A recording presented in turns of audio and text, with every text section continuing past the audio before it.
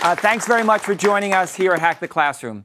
We've got a couple more hack uh, to share with you, and our fifth uh, class hack video comes from the Czech Republic, where Tomáš Milička has discovered what rich multimedia combined with 3D paint, PowerPoint, and overhead transparency film, this is amazing, it can, can be combined so students can see and create real-life holograms. Let's take a look.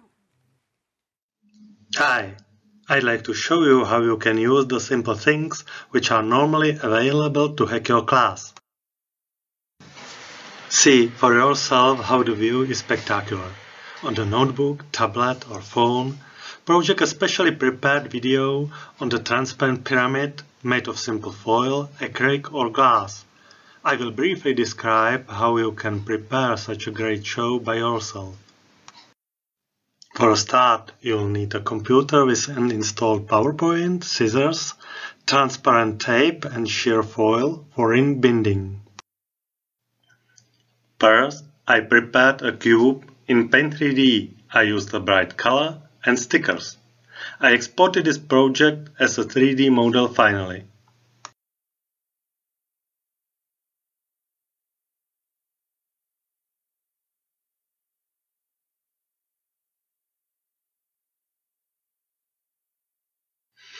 Then I used PowerPoint with morphing of my 3D cube to create a video with which I will continue to work. The object must be contrasting on a black background. I exported this presentation as a video finally. You can create more such videos and connect them in one, for example in Movie Maker or Story Remix.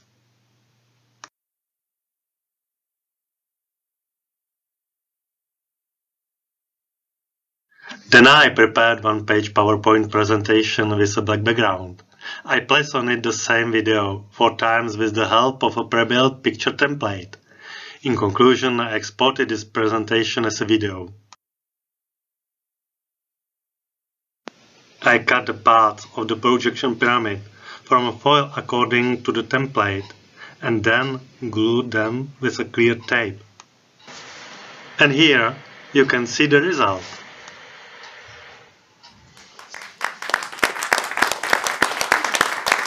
That's great. Uh, thank you so much for sharing, Tomas. I'm truly inspired by the creative use of these tools to help create amazing 3D experiences for our students.